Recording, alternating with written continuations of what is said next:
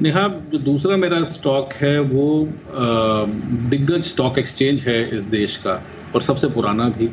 और जिस तरीके से हमने देखा पोस्ट कोविड एडिशंस हुए हैं क्लाइंट्स में, और बीएससी नए नए प्रोडक्ट जो जो स्टॉक का नाम है, वो है बीएससी और जो बॉम्बे स्टॉक एक्सचेंज है वो नए नए प्रोडक्ट्स लेकर आ रहा है। अब यहाँ पर आप गोल्ड ईटीएफ और सिल्वर ईटीएफ पे भी गोल्ड सिल्वर में भी ट्रेड कर सकते हैं। उसके अलावा जो भी ट्रांजैक्शंस हो रहे हैं, मुझे लग रहा है कि ट्रांजैक्शन की जो जो कॉस्ट है, वो इनका रेवेन्यू है। तो इनके रेवेन्यू निरंतर बढ़ते हुए दिख रहे हैं बीएससी के। और ये भी अटकलें लगाए जा रहे हैं कि बहुत जल्द एनएससी का भी एक जो आईपीओ है वो आने वाला है। मैं छोटा सा आपको एक उदाहरण देना चाहता हूँ। करीब करीब पंद्रह करोड़ रुपए का सेल्स था मार्च 2024 में।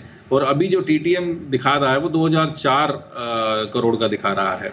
तो रेगुलर ईपीएस में वृद्धि दिखने को मिल रही है सेल्स में प्रॉफिटेबिलिटी में वृद्धि देखने को मिल रही है क्लाइंट एडिशन हैं। तो ओवरऑल मुझे लगता है कि बीएससी जैसा स्टॉक जो है वो भारत की ग्रोथ स्टोरी से जुड़ा हुआ है।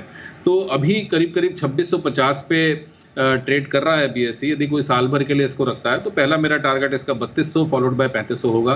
तो 3200 के टारगेट के लिए बॉम्बे स्टॉक एक्सचेंज जो कि बहुत ही सेफ़ अच्छा बड़ा एक्सचेंज है अच्छी कंपनी है और भारत की अर्थव्यवस्था और उसकी ग्रोथ से जुड़ा जुड़ी हुई कंपनी है। तो बीएससी में खरीदारी करने के लिए अ, मैं रिकमेंड करूँगा। तो आप सेक्टर्स और स्टॉक्स को अपने पोर्टफोलियो में जोड़ने की सोच रहे थे, क्यों ना एक्सचेंज को ही अपने पोर्टफोलियो का हिस्सा बनाया जाए? क्योंकि इसकी ग्रोथ की प्रोस्पेक्ट्स भारत की इकोनॉमी से जुड़ी है, जो कि फर्राटा रफ्तार से आगे बढ़ती चली जा रही है और आने वाले